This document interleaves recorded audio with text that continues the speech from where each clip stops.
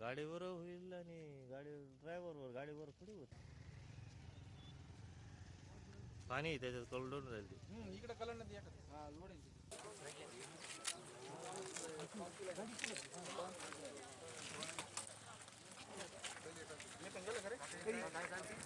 load